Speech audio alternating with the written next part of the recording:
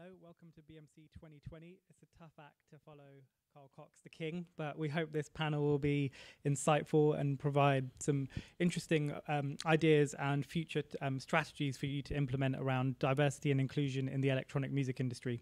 Um, the panel today is hosted by the Association for Electronic Music, which is a not for profit trade association created to represent the interests of the companies and individuals who are involved in the electronic music industry and to advocate for best, best practices for the genre. Um, as I mentioned, this topic is around diversity and, and, inclusion, and it's a topic that's been on many people's radar for the past few years. Um, but 2020 has rightly so brought it even further up the agenda as we undergo probably one of the biggest transformations many generations will have ever seen from um, the Black Lives Matter movement to a number of different sexual harassment moments from Erick Morillo and the kind of electronic music's Me Too moment. Um, it feels like this is the right time to be discussing this. And like I said, hopefully we will present some interesting ideas around the future of diversity and how you can implement new strategies. The case for diversity, uh, diverse culture is very clear. Um, numerous reports highlight that um, a diverse culture would generate 2x more, two times more likely to meet financial targets. A company that's diverse is six times more likely to be innovative and agile eight times more likely to achieve better business results. And the list of um, benefits really outweighs any other reason not to have a diverse culture. So before we go into it and explain what diversity is, we'd like to, I guess, introduce everyone on the panel, um, explain who you are and what you're doing. So we can start with Samantha. Hi, thank you, Inder. Uh, my name is Professor Samantha Warren. I'm a professor in organisation studies at the University of Portsmouth, but I am also a member of the female DJ collective SISU, and I'm um, behind the platform In the Key of She, which is investigating the career experiences of female female identifying and non binary electronic music producers. Um, and I'm also a co chair of the AFEM Diversity and Inclusion Group.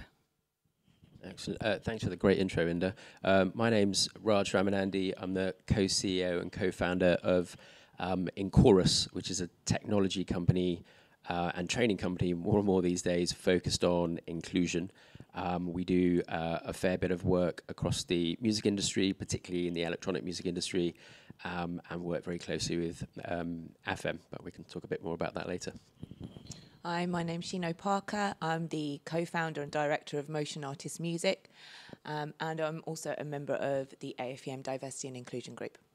Amazing, thank you. And I'm Inder. I work in a company called Graphite, which is an entertainment company focused around brand partnerships and innovation. And we also manage a number of um, artists. Obviously, we've got an incredible panel here, very broad um, set of backgrounds and experiences in the industry. Um, but before we kick into it, I guess the first thing we want to do is we hear the term diversity and inclusion used quite a lot, but many people don't really understand the difference between the two. And I guess one of the first things we want to do is really break this down as a starting point. So, Shino, if you could define what improving diversity means and looks like in electronic music, please. Um, so I think the most important thing is to first of all like look at the origins and the roots of electronic music. And what's really interesting about it is is that it's born from gay clubs in Chicago, black and Latino disco. It's made from te technology that's been um, that we've bought from across the across every co continent, um, and um, and it's also been enjoyed by people, millions of people around the world. Um, and on the dance floor, everyone feels equal. Kind of fast forward to the millennium, and what you what we've kind of seen is that we've got the creators and the people working within the industry, unfortunately, being very white and male. So for me, the future looks like not having to point out that a lineup is all male, not having to look at a speaker com uh, conference lineup and say that there's nobody from of varying ethnicities on there, and also not being trolled for calling it out on social media. That's very interesting. And, and Raj, I guess um, from your perspective, how would you define the term inclusion in the context of electronic music workplaces and events? So whenever we talk about inclusion, we're talking about the culture. So um, we differentiate diversity and inclusion. And diversity is uh, is about the numbers, is how how people and in what numbers they're being represented based on um, their differences. Um, their protected characteristics, which we can talk about a bit later. But the inclusion side of things is about what kind of culture exists within the workplaces, in the various environments that make up a particular industry. Um, and are you welcoming that diversity within um, within that culture? Um, so yeah, I, I, don't know whether you'd add anything to that, Samantha. But. Yeah, I mean, I agree with with everything that's that's already been said. But for me, inclusion is about being able to be yourself. And not have to change yourself to fit into that culture. Um, which I'll talk a bit more about that in a little while. Um, and diversity, for me, there's sort of kind of two sides to it, really. There's the visibility element, which is super important for representation, role models, and, and so on.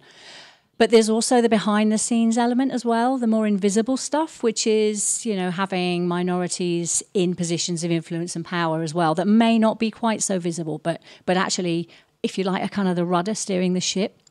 Um, so yeah, there's a, there's a whole load of issues I think that, that come in.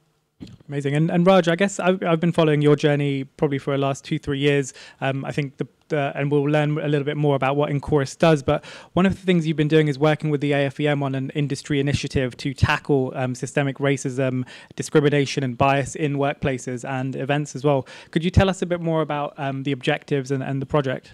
Yeah, sure. So, um, coming back to that point about workplace cultures, um, and how companies um, across industries, this is not, uh, you know, the electronic music industry is no different to any other in any any kind of potentially bad ways, but companies are, are, are capturing or managing their culture in the wrong way. They are, or, or they're not managing it at all. It's, as, it's as if um, it's not something that can be um, proactively um, uh, improved. Part of the problem is that when a company looks at any business function, um, they are looking at the data. Um, but when it's come to managing culture, they're lacking the right kinds of data, in our opinion. So they might be capturing um, data um, from engagement surveys in sort of potentially medium to large, large size companies are more and more frequently kind of doing annual surveys where they're capturing um, how the workforce feels about certain things, um, such as um, I know line management or their workload or the new coffee machine. Um, at the other end of the spectrum, companies might be capturing cultural data from exit interviews or whistleblowing solutions, um, which again we think is, is valuable data, but not particularly representative of what we're obsessed with, which is what is the lived experience, what happens day in, day out, and what are the everyday behaviors and interactions, which ultimately define what a culture is for us. Um, so InChorus, um, its kind of its genesis was based very much on um, leaning into the the academic research in this field, particularly around microaggressions, which I'll explain in a second.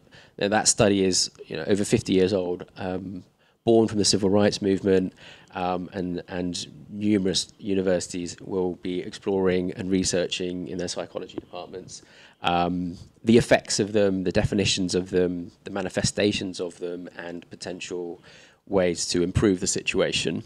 So we work. We were very lucky to work with. Um, uh, one of the leading academics in the field, Professor Gina Torino, who essentially co-wrote the seminal text on microaggressions, which are um, which are not the more serious incidents of bias and harassment that happen, but the more uh, subtle, um, but the far more frequent incidents. Um, and so, working with her, we designed um, a, a, fairly simple web app where anyone in a in a workplace can log an incident anonymously in about 60 seconds. Um, so it's that background that we think is really important to try and bring into industries and try and bring that way of working into more and more companies. And so the initiative with AFEM is about um, trying to get the industry to work together and have a few companies leading from from the leading the pack, if you like, to say, you know, we are, we're going to embrace this way of working, um, and um, essentially kick off with a little bit of research across the industry where we get some insights as to what are those, what are the day-to-day behaviors, what is the culture actually like, who is it affecting, um, are they reporting these things, um, and off the back of that that data set, we would like to, as a collective, so uh, very much led by by AFEM ourselves, and there are two um, big players uh, that we're not announcing just yet that are joining us, and, and, and we're looking for a couple more um, that will uh, be party to that research, disseminating it across the industry, and then sitting together to look at um, looking at what those problems are, not so that we can dump those problems back on the industry, but very much with the lens of here are the here are the insights we have. Let's let's together look at the the evidence-based best solutions to those kinds of problems, and then again, you know, collectively, I say that a lot, collaboratively start implementing those solutions. There's there's no other way that you can start um, making that kind of wholesale, whole, sorry, uh, wholesale cultural change alone. We think it requires collaboration. We think it requires sweating those small details and looking at the lived experience. Um, and we think it requires that kind of approach to take a much more preventative approach to some of those more serious incidents that you spoke about Inder at the beginning that we're seeing more and more because it's the, if the culture is ignored those bigger incidents can kind of um, you know smack you in the face and surprise you all.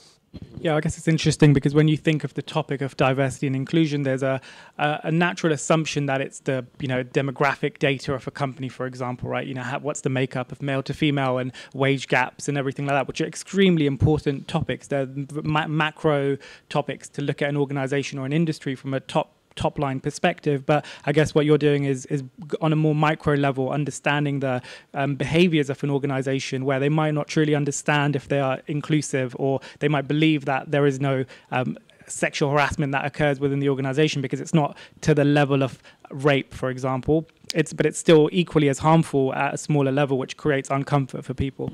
You nail it on the head. I think it's you know we're very much focused on the, the macro and the bigger incidents, but all of that doesn't happen in a, the macro incidents don't happen in a vacuum.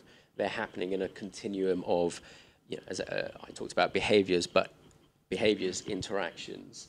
Um, you know, a, a, a meeting is a, a, meeting in a workplace is a almost a cornerstone of how work happens. And if those are, if there is uh, discrimination or bias happening at that level, it's going to seep its way throughout the whole in, uh, the whole industry. So yeah, I, I um, feel that the obsession in many industries is looking at pay gap, which was important, looking at pay gaps. What we now start, are starting to term stay gaps is what are the retention data's like. Um, but the, the why as to why they are where they are and how you move them the clues are in those micro details. Yeah. It's fascinating. I guess just um, onto the next point on, on this one, and I think data clearly seems to be the, one of the foundational points of building a diverse um, music industry as well as a diverse and inclusive organization and collecting this data in a in the right way and collecting credible data is is of course hugely important and Samantha it would be really interesting to learn more about the AFEM survey that you've been working on um, which I guess you can tell us a little bit more about it and how you went about it yeah sure um, this is a project that the diversity and inclusion group have been working on for way before I became involved. She Shino, I believe you kicked this off a couple of years ago now. Uh, Sarah, Sarah, Sarah Hilderling from the Netherlands and also uh, Hanai Brand uh, have also been involved. And what we were trying to do before, in fact, it, we had the relationship beginning with Chorus, was to get this this evidence base and data data uh, from the industry about how people feel about diversity and inclusion. Because I think you're absolutely right, Inder the uh, the numbers are really important, but they don't actually tell you the the lived experience. The term that Raj used just now, which is one of my favourites. Um, how does it actually feel to to work in this this context? So the survey itself. Uh, has 48 questions, which by and large um, cover people's feelings, beliefs, opinions about diversity and inclusion and their own experiences. And we sent the first wave out for people to fill in in September to December 2019. Um, and it went out via the AFEM networks, BMC's networks, AIM, ADE, and generally on social media. And we got uh, 229 respondents. And that was, interestingly, about a 50 50 gender split. So that was quite interesting given what we know about the uh, male dominance across the industry. Um, looking more deeply at who filled the survey in, we were a little bit disappointed, but but unfortunately not that surprised. Um, 80% of the survey respondents were white or described themselves as white 80% described themselves as straight um, predominantly from the uk netherlands and germany but we did get responses from about 12 um, countries so, what was interesting and what we were deliberately trying to do with the survey was to get data beyond the live sector. So, this was about um, industry players, perhaps more behind the scenes, where the limelight on diversity and inclusion is perhaps not shone so so directly. Um, and 68% of the people that filled the survey in were from record labels and distribution, a further 13% from the tech sector. So that's exactly what happened. We did actually get that that uh, that sector involved. So, what did we find out? Well, the, some headlines, uh, which is all we have time for, obviously, on this panel. Um, good news 90% of the people that filled it in saw the organisational and business benefits of having a diverse and inclusive organisation and culture. However, 20% still considered that D&I was not a problem in our industry. Now, I know that means that 80% of people do consider it's a problem, but that's still a fifth of people that fill it in that said, yeah, it's important, but it's not a problem for us here in this industry. So I think that's that's quite an interesting finding. Um, in terms of what we do about that, um, and I should also say that the original idea and driver for the survey was around gender diversity, but also from an intersectional di dimension, which, as I said, you know, a predominantly white sample, straight sample has that that has issues, and that's something that we need to address in in future years. Um, but to go back to, to what we do about that, we asked a series of questions about positive action, about uh, quotas for hiring of people from minorities.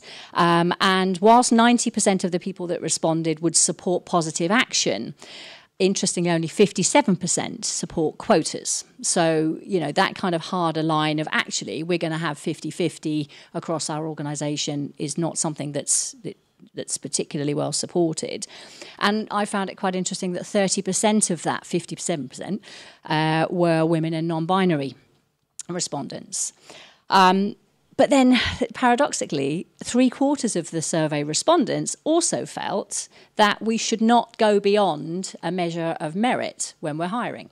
So, although they're saying, you know, 90% of people are saying we need positive action, 75% of people are saying, yeah, but, but actually, merit is the only thing that should count when you're hiring someone. So there's a contradiction there, which, and I think as Raj said earlier, we're not alone in this in the electronic industry, uh, in having these contradictions. Um, as we expected, uh, findings confirm that most um, organisations have a minority of women. 65% of the respondents work in companies with less than one in four women on the management team. So that's 25% or, or less uh, women. And women are twice as likely than men to feel they are in a minority at work. Um, and the fact that has come out of this is that three quarters of those people feel that they had to act like one of the lads now, there were also some men who said the same thing. Um, but the fact that you have to, as we were saying about inclusion earlier, that in order to, to fit in as a minority, you have to pretend to be somebody you're not, takes a huge psychological toll and has all sorts of organisational implications for engagement, for, for retention, and, and so on, and just general well being.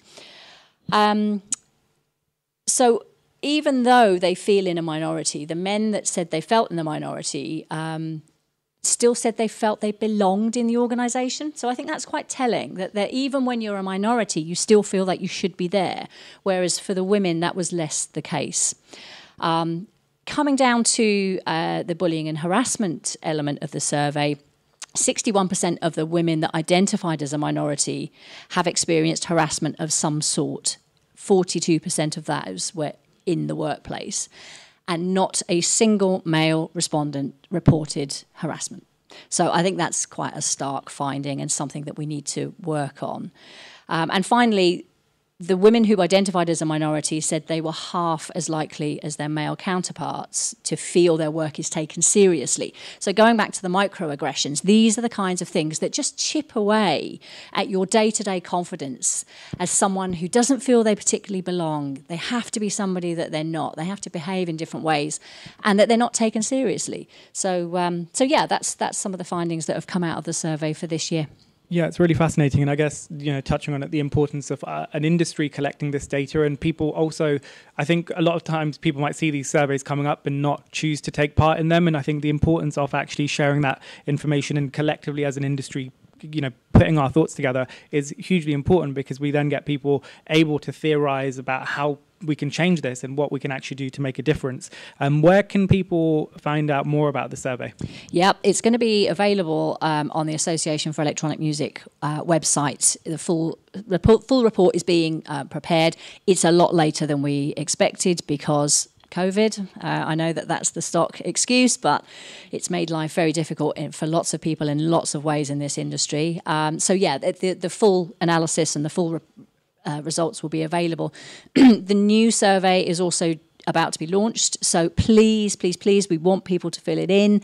Um, and we particularly want to encourage people from um, BAME communities, uh, people from from uh, gender expansive communities and so on to complete the survey so that we can have that cross sectional, intersectional data set. Because at the moment, what we've got is mainly data from white, straight people, albeit 50 50 men and women. Interesting, and I, I, do wonder if there there are ways to uh, promote this these types of surveys in, in different contexts that they do resonate with a wider target audience for them to want to engage with it. I think these are questions that we have to ask ourselves when we do see the sample is not representative of the industry that we're targeting. I think we there is a shake-up required in, in a number of different ways, and not that's not discrediting the the work. I think it's just a question we should be asking. Um, Shino, from from an AFEM perspective, I guess it's really interesting. But yeah, AFEM has been talking and thinking about and acting on diversity um, topics and inclusion topics for a long period of time, um, and want pushing for diversity to be front of mind when people are making employment decisions or program programming event lineups and conference panels. Um, touching on that latter point of conference panels, I know AFEM are launching a diversity charter concept for conferences um, to create, I guess, more diverse um, conference panels. And can you can you touch on that and and, and give some insight into um, what the objectives of this are? Sure. Um, so the Diversity Charter has been created to advocate for diversity considerations to be front of mind when finalising panel lineups and looking at the overall programme of speakers at a conference. Um, we all know how difficult it is to actually have a balanced panel um, whilst also like pairing that with your speaker expertise. It's not that easy. I've done I've tried to do it myself a few times and it is really difficult.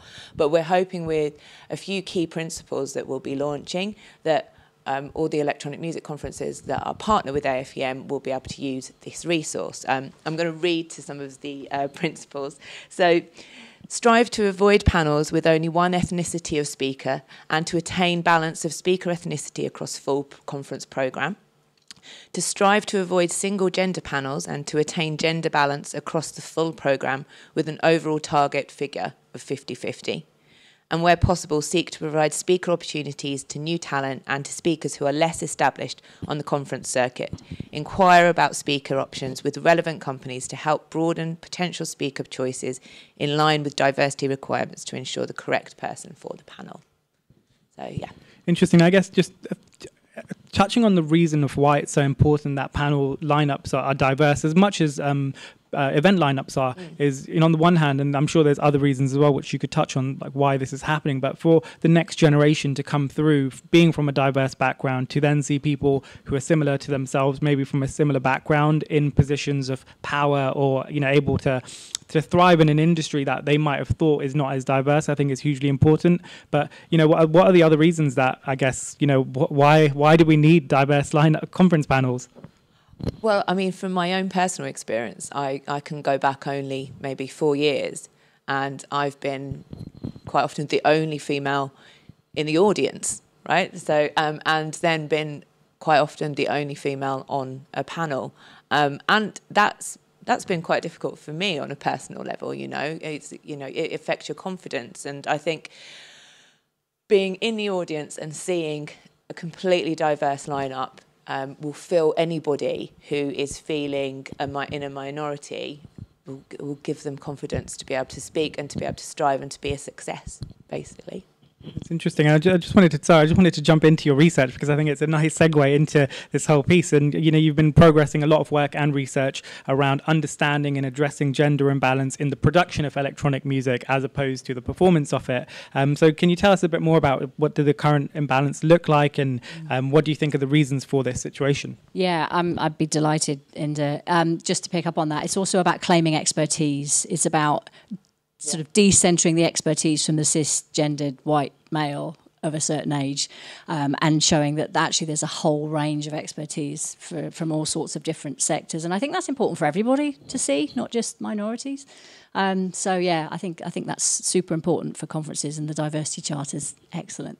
Um, but my research has been around, as you rightly said, about uh, the production of electronic music, because um, whilst there's a lot of female DJs, um, and I'm particularly looking at gender in this research, uh, there were, at the time I started doing this research, I could find far less women producers of electronic music. And in a digital age, uh, I don't want to teach anyone to suck eggs here, uh, but we are seeing a move from DJing as a source of reputational capital through to production being that important um, asset to have if you want to be taken seriously as an artist. Um, and so, if women aren't doing that, we've got a problem on our hands because uh, bookers are booking artists and not just DJs. So that was what motivated the research. And in terms of numbers, it's exceptionally difficult to get a handle on the numbers of women producers. And when I say women, I do mean women, female identifying, and gender expansive. The 2% figure, you may have heard this around 2% of music is produced by women, 98% produced by men. That actually comes from the Annenberg Inclusion Institute uh, initiative, which is based in LA. And they actually, it's not electronic music, it's based on an annual survey of the top 600 billboard songs, pop songs, on a six year rolling period. And that's where that figure comes from 2% of the, of the people on the credits of those tracks are women. Um, but there are some anecdotal pieces of, of, um, uh, of evidence from our industry um, they're going back a little while now. 2010, 2011, only 7% of registered Ableton users were not men. Um, and I quite regularly, it's quite sad, but I quite regularly add up the number of tracks not made by men in the Beatport Top 100. Um, I literally count them. I look for, it's not particularly scientific because I'm just looking at DJs' names and checking people out if they're um, androgynous. There's usually somewhere between five and 10 tracks out of 100 that are not made by men. Um, I went through the hype charts the other day 900 pieces of music, and there were 25 or 26 um, that were not made by men. I mean, obviously, I didn't look at every single artist, so this is not a scientific study, but it gives us a flavour. And that's fascinating to me. Why, in an age when technology is democratizing music production, that's what we've been told, why is this happening? So, um, some of the underlying reasons that have come from the research so far, and I've done about 50 interviews now with um, female and female identifying and non binary producers. Um, EDM production, it's very, very techy, uh, you know, fairly obviously, really. Um, and girls are put off tech at a very young age. They still are. Um, the, the, the, the technology is coded masculine from a very young age. A lot of this is gaming technology. You've only got to look at a studio and, and you don't think girl. You know, there's, there's nothing there that, that speaks to us on this subliminal, symbolic level. Um, so we've got an issue from the beginning that um, we're not encouraging girls to, to, to get excited by technology and for it to be cool to be into tech. Um, I've also found that this is particularly coming from the labels that I've interviewed, that women tend not to submit their tracks to labels. Uh, interestingly, some some people you know would disagree with that by saying yes, I do. Um, but the labels, both male and female owned, have been saying you know women aren't sending us their tracks what are we supposed to do? Um, a lot of women self release, certainly the people I've been talking to, because frankly they can control their creative product. They can they don't have to deal with an industry that perhaps they find difficult. But it does mean that smaller labels fall under the radar maybe. Um, hostile environments we're going to come on to this uh, in a lot more detail in a moment but uh, or perhaps un- unwelcome environments where people feel unwelcome both on offline and online um, are a contributing factor. One of the reasons that people don't come forward for panels who are from minorities is the fear of of the negative publicity around that, or that they they don't feel confident being a minority on on that panel. And online um, online situations are particularly horrific. There's been one this week with a, a producer uh, who's who put a studio session up on on Facebook and just a whole raft of misogynistic, unnecessary, nasty comments. So, why would you put yourself in that position? Uh, these are broader cultural issues uh, that, that we have to sort of look at. But it puts women off being very visible.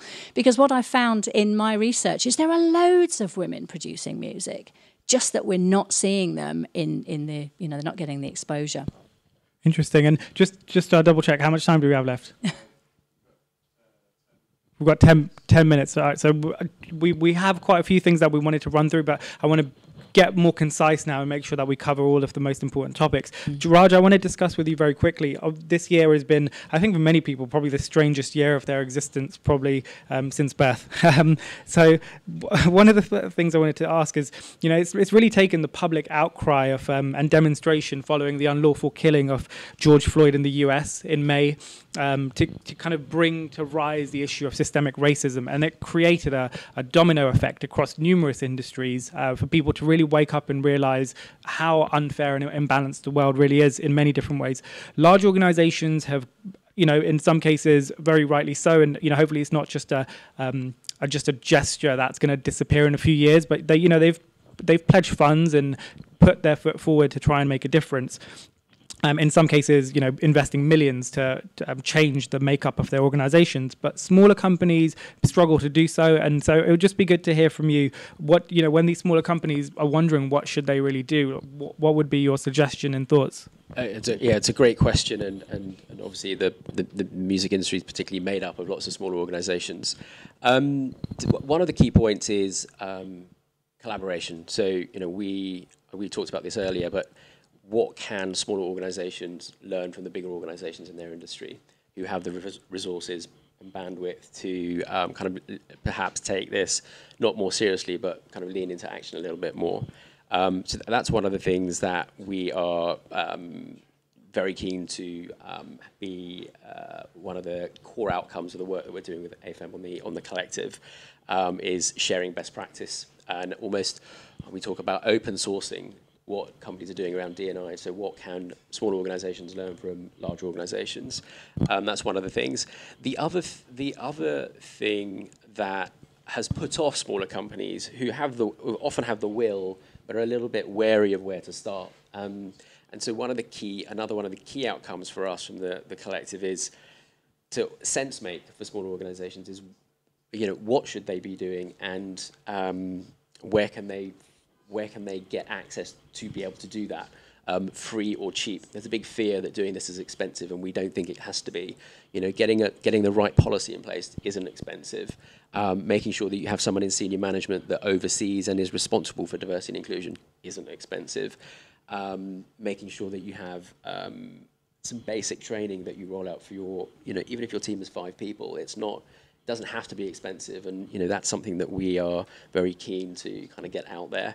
Um, so yeah, yeah, there are some key pillars that we definitely we've rolled out in other industries, and we can see the value of that.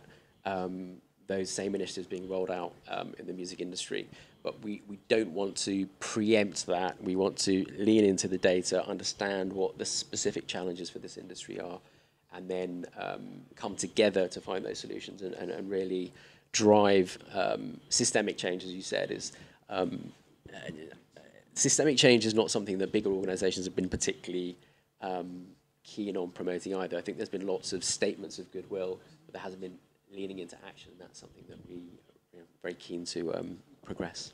Thank you. And I just wanted to touch on um, sexual harassment. And a few years ago, I remember I was at a panel at IMS and I heard someone say, you know, when is the electronic music industry going to have its Me Too moment? And I think we we just did with Erick Morillo. And, you know, in essentially, I'm sure most people know what happened, but, you know, uh, someone who essentially is, is accused of numerous sexual assault and rape allegations and in his death glorified by an industry in many cases, pr- primarily by men. Uh, Shino, I just wanted to ask you a question about this on a broader level. Can you tell us a little bit more about um, the code of conduct against sexual harassment that the AFEM has launched, and also if you can just touch on the sexual harassment um, assault line?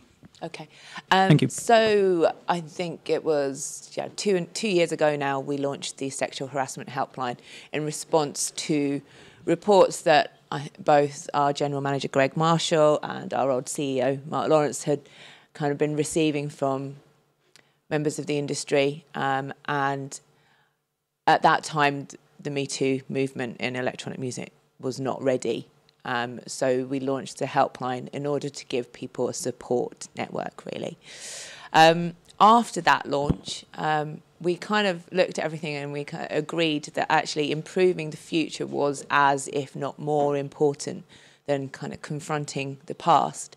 So the D&I group, um, led by Sarah Hildering and Matt Adele, uh, pulled together a, a, code of conduct, wrote a code of conduct for the industry. Um, we've consulted members of AFEM, and um, we're hoping that that will have a public launch within the next month or two maximum. We've it's been launched to our membership, and um, so it's it's imminent at the moment.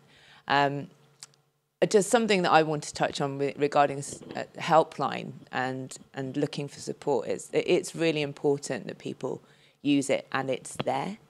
Um, it, people don't report sexual harassment.